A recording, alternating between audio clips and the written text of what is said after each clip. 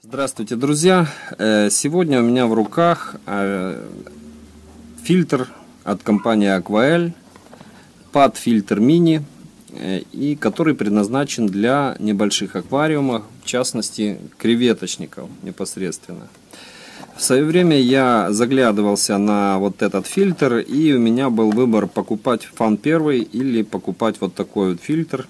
Ну, скажем так, я дал предпочтение э, фан первому, потому что в то время на них была акция, я их покупал, по-моему, сразу 4 или 5 штук. Но, тем не менее, я давно хотел вот э, посмотреть, подержать в руках, посмотреть, сделать обзор вот такого фильтра. И на сегодняшний день, к счастью, у меня представилась такая возможность. Давайте же посмотрим, откроем, что у нас внутри.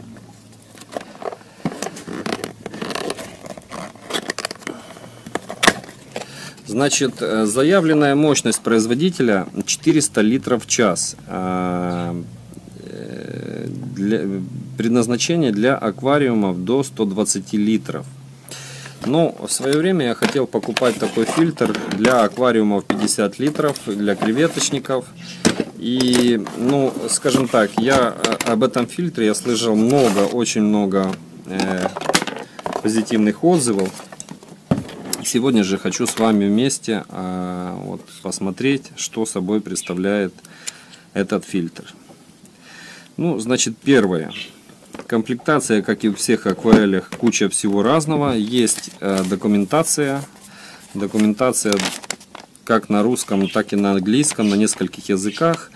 Значит, что здесь написано? Написано, что э, максимальный подъем воды 45 сантиметров, расход э, мощности, расход электроэнергии 4 ватта, мощность максимальная 400 литров в час, вес 230 грамм. И есть значит, полная инструкция по сборке и установке данного фильтра. Также есть гарантийный лист Э, на всю, на всю продукцию компании Aquael идет гарантия 3 года от производителя. И вот, собственно, сам фильтр. А, конструкция фильтра достаточно простая. Э, грубо говоря, это обычная помпа с мочалкой. Большой плюс такого фильтра в том, что сюда можно вместо этой мочалки поставить любую другую. И то есть увеличить э, площадь фильтрации Э, но и минус в том, что все-таки э, когда маленькие аквариумы, когда вы будете доставать такой фильтр из аквариума, то все дерьмо, которое вот приклеится вот сюда вот, оно все частично останется у вас в аквариуме и будет плавать небольшая муть и взвесь. Э, если сравнивать его с фан первым, он плюс-минус по мощности такой же, там чуть-чуть может меньше мощности имеет фан первый, то там идет кассета и все это дело, эм, ну скажем так, намного э, проще и намного лучше им пользоваться, потому что все-таки все дерьмо остается именно в этой пластиковой кассете. Здесь же все налипает просто на мочалку, и соответственно, когда вы достаете ее из воды, то муть частично останется в аквариуме. Значит, конструкция фильтра. Разбираем, смотрим. Так. Это все мы сейчас разберем. Значит, здесь у нас ротор. Э, обычный маленький ротор 4 лопасти на железной оси. Закрывается все это дело вот такой вот крышкой предохранительной. Вот таким вот образом. Крышка закрывается достаточно плотно. Э, значит, есть возможность, вот видите внутри, есть возможность регулировки подачи воды. Есть вот такая вот насадка к нему для обогащения воды воздухом. Ну, как в принципе и во всех фильтрах компании Aquael. И вот такой вот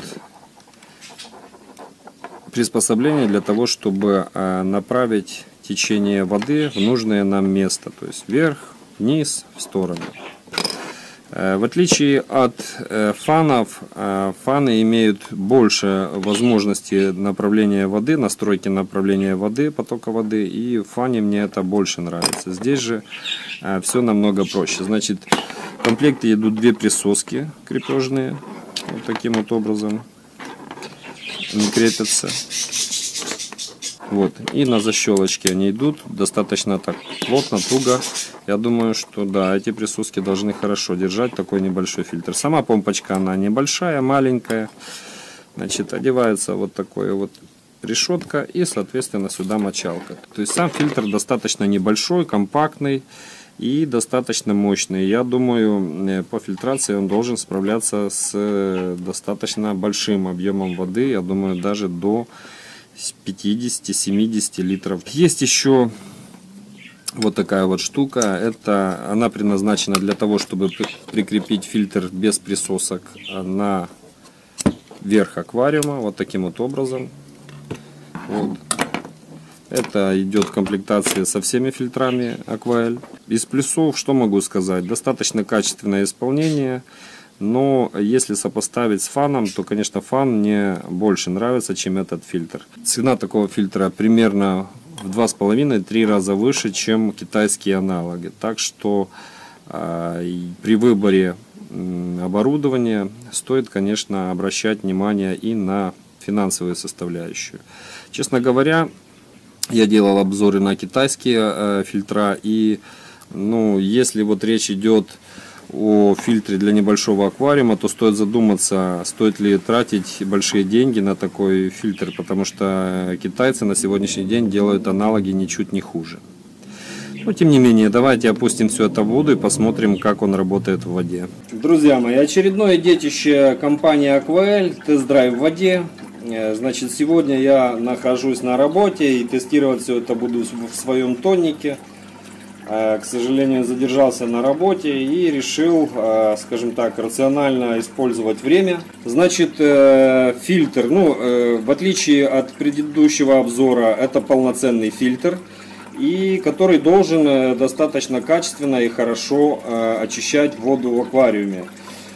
По сравнению с кассетными фильтрами этой компании, именно этот фильтр я бы советовал брать в аквариумы с креветками – так как э, в кассетные фильтра креветки могут э, заползать, именно маленькие креветки, и там погибать. Здесь же они на мочалке будут объедать обрастания, будут объедать мусор, который собирается на мочалку. И в этом, в принципе, большой плюс данного фильтра. Давайте опустим его в воду и посмотрим, как он работает. Вот, пожалуйста, максимальная мощность работы фильтра. И минимальная мощность работы фильтра. Значит, заметил я вот такой нюанс, если вам видно, я думаю всем видно, да, вот здесь из-под э, кнопки регулировки мощности подачи воды фильтром э, идет протекание воды. Ну, конечно, к плюсам акваэлю это зачислить сложно. Давайте попробуем опустить его глубже и посмотрим, как он аэрирует воду. Шланг я опустил на максимум. И как видите, а, данный фильтр справляется вполне со своей задачей. Аэрирует воду даже на глубине в 30 сантиметров. Это, конечно, большой плюс. Ну и давайте проверим присоски.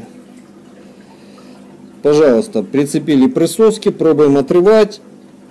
Ничего не получается. То есть здесь Акваэль, конечно же, на высоте. Итак, друзья, подведем итоги по данному фильтру.